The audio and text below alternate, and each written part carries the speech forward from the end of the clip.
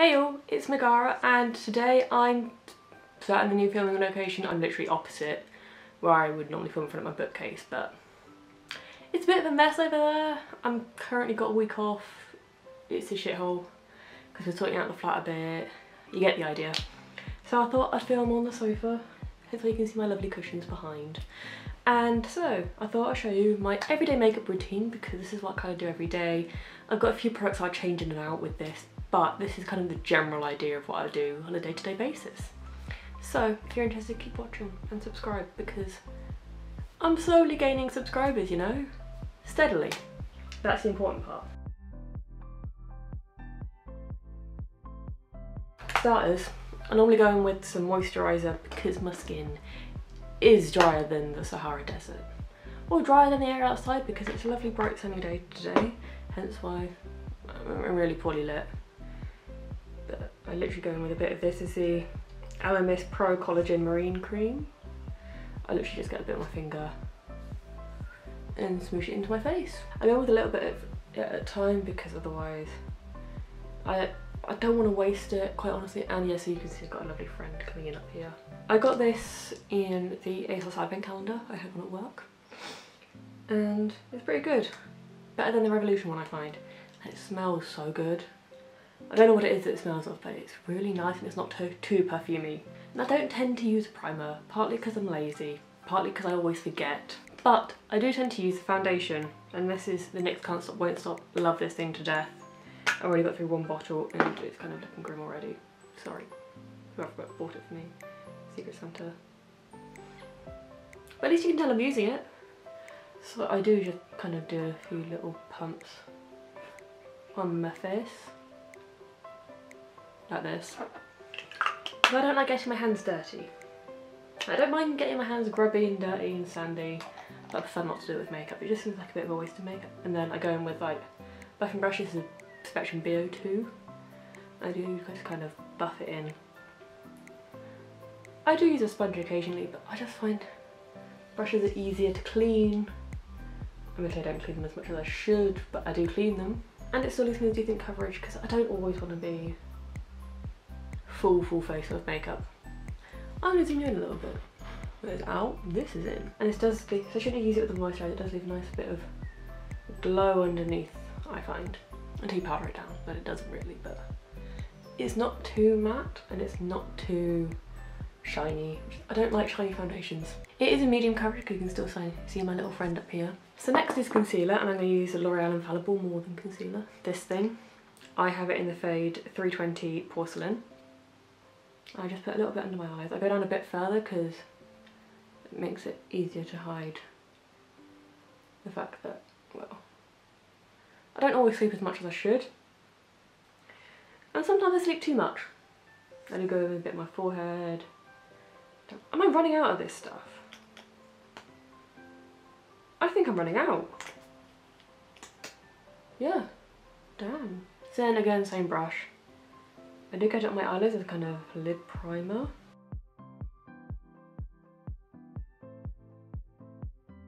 So this is a powder brush, it's a tapered one. I'm going to use a Nabla Close Up Baking and Setting Powder. I don't bake because my skin is dry enough as it is. And that is messy today. So I'm going to get a bit I spilt, whack a bit under my eye, hope to I don't crease. Story of my life. So there's a little bit in the lids, I'm just swirling it around. I am sorry about the seagulls, but when you live in a seaside city, you're gonna get seagulls. So I'm just picking up a little bit from the tub, swirling it around so get it all evenly spread about. And I'm going to go in with a bigger powder brush. Again, same thing. Get a bit on my brush, swirl it around in the lid. This way it kind of I make a mess, let's be real. Just as well I'm not wearing my black jeans or my black work shirt because I've got the week off. I'm gonna go with a little bit more on my nose because my foundation always comes off my nose. I'm not sure if it's me, my boyfriend, or just because I am always taking jumpers on and off because I get cold, then I get too warm, then I get too cold. Anybody in England knows what I mean. So, as you can see, you kind of still you can kind of see that it's all kind of, you can still see this bit, but uh, to be honest, I just don't care right now. And the skin's looking a lot more even. I, I did get a lot of red around here, particularly I get it on the other side as well. That is just, um, what is it called? Keratosis pilaris. So now I'm going to go in with my brows. So I'm going to go with something that's probably a little bit off right now, but I paid a lot of money for Ka-Brow. No, not Ka-Brow. Browsings. So I just go in with the powder quite honestly. The This side here, where it's got a nice big dent in it. And I'm just going to tap it in. And draw, quite honestly, is the best way to put it. Also, I'm sorry I didn't post a video last Friday. I had a bit of a shit week.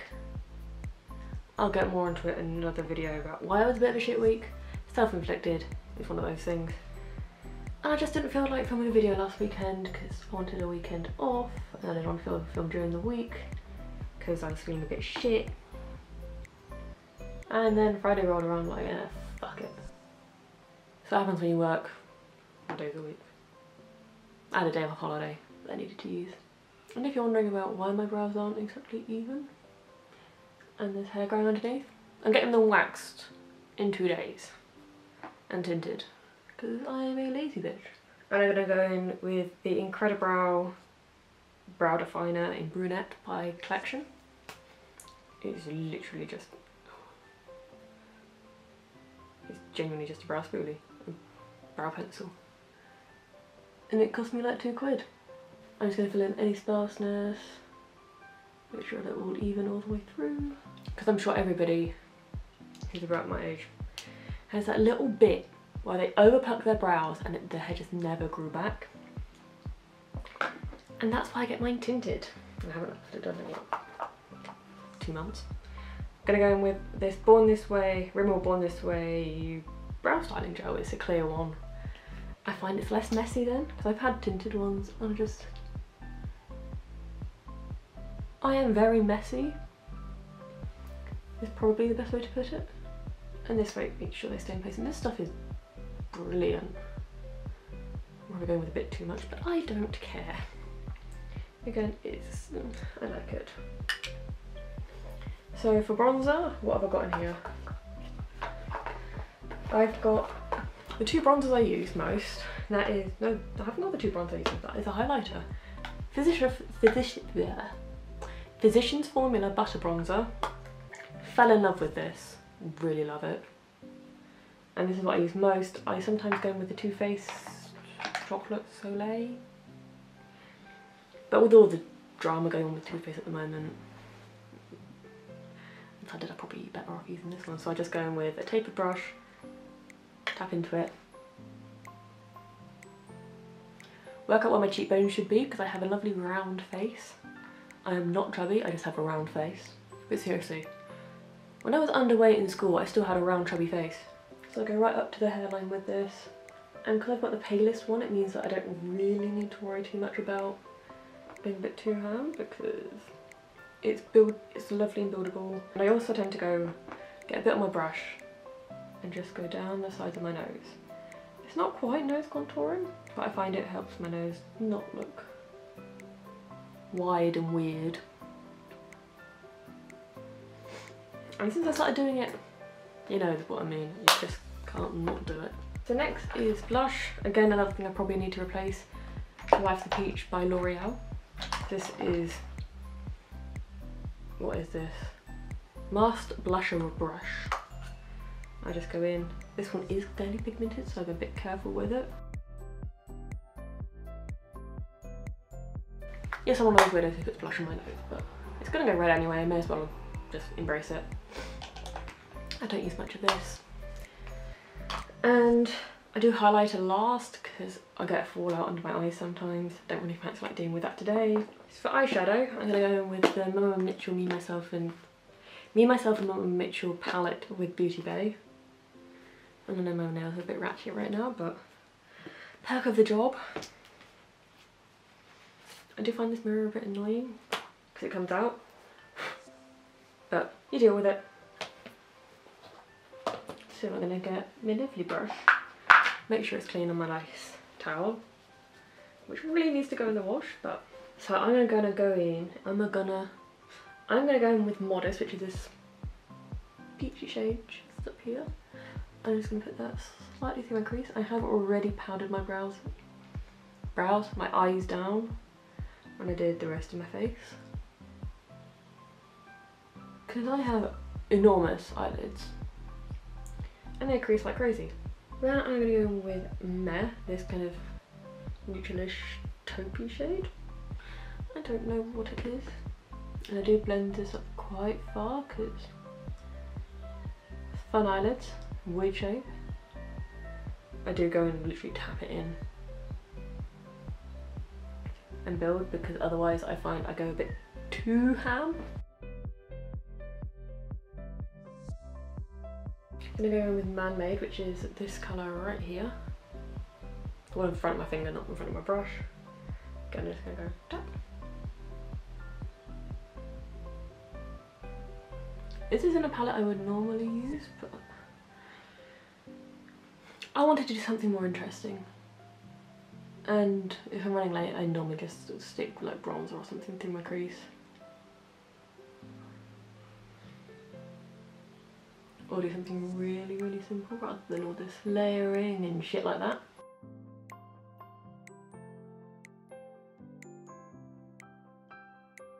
I'm going to run any excess on my brush underneath apparently there's none, so I'll deal with that in a minute. I'm gonna go with Muse, which is this one right in the second one from the bottom. And I'm gonna get this lovely big old brush and just kind of blend out the edges a little bit, just so a bit more seamless and you know. So I'm gonna go in with Matte again, which is this kind of coolish, neutralish tone next to the green and that under on my lower lash line down here. And do the same with combo of Man-Made and Muse. Literally tap them both together, tapped a little bit off. So went tap, tap, and then tapped it off on the towel on my lap.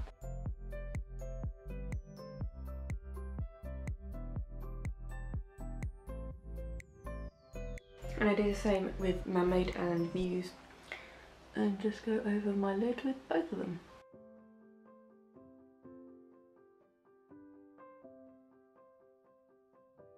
Disclaimer, I know this isn't the most suitable thing for some people at work or school or whatever, but quite honestly nobody will bat an eyelid if I turn up to work with bright green eyeshadow. I have turned up to work with bright purple and bright pink eyeshadow. And all that is being said by the bosses, you're looking vibrant. Not all bosses are going to be as chilled as mine is. I'm going to go in with Meaty, which is this reddish thing right here. I'm going to go in with, which my fingers is less beaten up at the moment. The middle finger. So sorry if I start getting a view taker, thanks at me using my middle finger. I'm just to literally swipe it over my lid. I never use a brush to apply shimmers because fingers almost always work better. I'm to go in with a touch of Melted This Gold shade here and just tap that into the middle and blend it in with the red.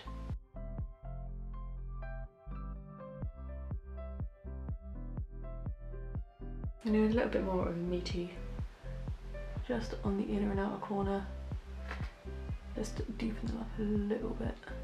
I think I'm gonna leave it there. There has been a little bit of fallout just around here. I'm hoping the camera's picking it up, but it's nothing major. So I just get big brush and sweep it away.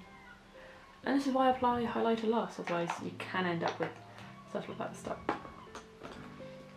I'm gonna go in with my brush again and just kind of blend the edges. Make sure everything's seamless, blended. Now I'm to go with mascara and I have two favourites. The Obnoxious Volume 1 by Rude, this is amazing, it's what I use on an everyday basis, and the Lash Princess by Essence, it looks like this. Really, really cheap. Fairly cheap.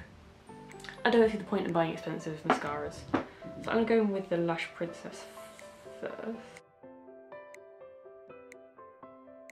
Now what I'd love to know from you guys down in the comments is what your favourite makeup bits are. Because I never know, because I speak to the same people at work each day, usually. Occasionally makeup comes up. I'd love to know what everybody else is, because I don't really, other than YouTubers who are sometimes paid to say, this product's amazing, and it's actually complete shit. I don't really see much. And I'd love to know what your favourites are. Then I'm gonna let this sit for a minute. I'm going with the obnoxious one by Rude.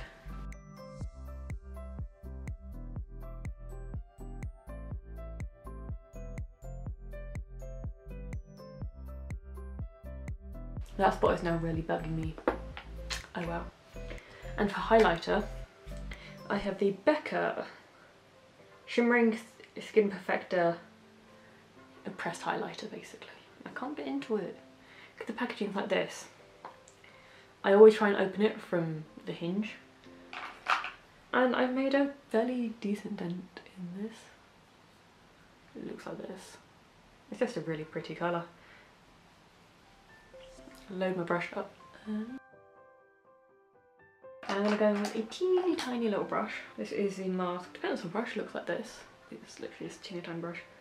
Get a little bit of product on it. I'm going with the inner corners.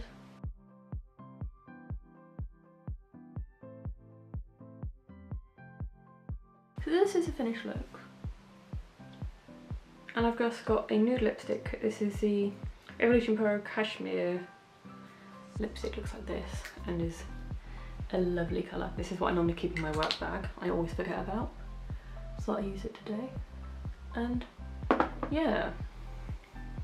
I also use the, oh what is it? Wet n Wild Rose Fixing and Setting Spray and I just love how this turns out.